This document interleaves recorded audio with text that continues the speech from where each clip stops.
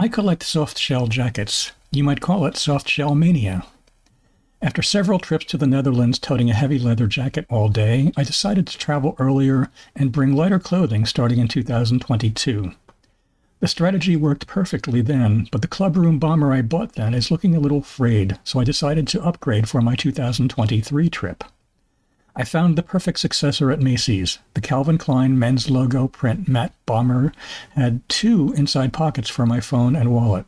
I love inside pockets. It looked just right on my pointy shoulders. I liked the subtlety of the barely visible logo.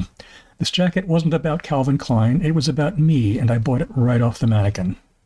With an ancient St. Michael's lamb's wool v-neck or a Wrangler cotton polyester shirt for layering, it served me perfectly until the wind got nasty, chilling my bones day after day.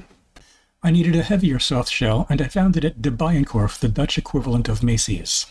The Lyle and Scott soft shell hoodie is from a Scottish company with a high-end 19th century brand name, a royal warrant from the late Prince Philip, and an eagle logo that reminds me of my drawer full of American Eagle t-shirts. The fit also flatters my problematic shoulders, and the finish is high-end all the way, with a satin finish interior and a thermal textured interior. However, to supplement the usual side pockets, it has only a single exterior pocket over the heart awkward for grabbing your phone on a wet, windy day.